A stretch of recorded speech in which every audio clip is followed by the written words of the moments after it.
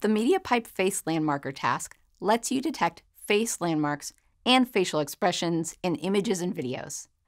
You can use this task to identify human facial expressions, apply facial filters and effects, and create virtual avatars. There are APIs available for Android, Python, iOS, and the web, with more coming soon. To get started using the face landmark detection task for the web, first take a look at available face landmark detection models to learn about their capabilities. You can see this list in the documentation, linked in the description.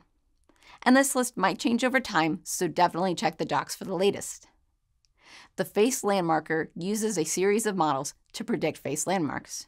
Three models are packaged together into a downloadable model bundle. A face detection model, which detects the presence of faces with a few key facial landmarks. A face mesh model, which adds a complete mapping of the face. The model outputs an estimate of 478 three dimensional face landmarks. And a blend shape prediction model, which receives output from the face mesh model to predict 52 blend shape scores, which are coefficients representing different facial expressions. And now that you know a bit about the models that make up the face landmarker task, install the Tasks Vision package. You can download the package using NPM and use a JavaScript compilation tool like Webpack, or you can import the package using a CDN. Note that under the hood, MediaPipe for the web uses WebAssembly, or WASM, a binary instruction format for a stack-based VM. You don't need to be an expert on the ins and outs of WASM to use MediaPipe solutions for the web. In simplest terms, WASM allows non-web-based code to run on the web. For the best user experience, you don't want to bundle your model or WASM binary into your website. Instead, you will store them server-side and provide links when initializing your face landmarker. Let's explore the code for this. Here, we have a function, create face landmarker. First, we configure our WASM binary loading using the file set resolver for vision tasks method. Then we create the face landmarker using the face landmarker create from options method, passing the file set resolver you just created and the model. You can also provide optional parameters. I show them all here in this example, even though they're mostly the default values, just to give you an idea of how they look. Running mode for inference is either image or video. Image is the default value. Num faces is the maximum number of faces for landmark detection. It's an integer greater than 1 with a default value of 1. Min face detection confidence is the minimum confidence score for the face detection to be considered successful. It's a float value between 0 and 1 with a default of 0.5. Min face presence confidence is the minimum confidence score of face presence in the face landmark detection. It's also a float value between 0 and 1 with a default value of 0.5. Min tracking confidence is the minimum confidence score for face tracking to be considered successful. This score is also a float between 0 and 1 and this value can affect the latency in that the lower the min tracking confidence, the higher the chance that we can skip the more time-consuming face detection.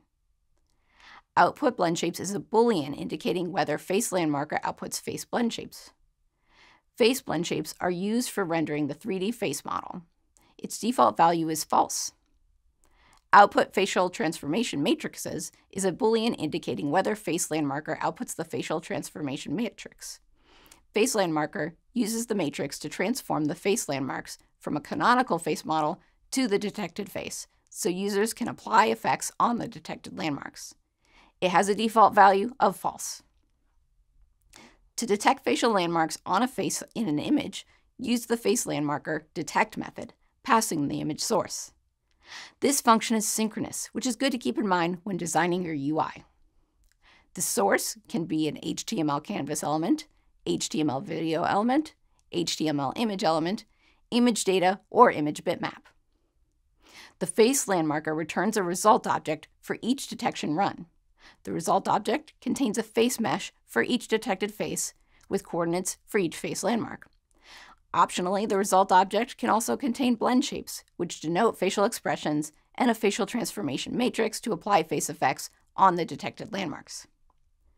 You can access these detection results using face landmarker result.face landmarks. The Tasks Vision package has a built-in helper function for drawing face landmarks on a Canvas element. First, create an instance of the Drawing Utils class. Then iterate through the face landmarks and call the drawingutils.drawConnectors method, passing the landmarks, the area that you want to draw, like face landmarker, face landmarks right eye, and the color of the connections. You can see all available attributes for which you can draw connectors in the API documentation.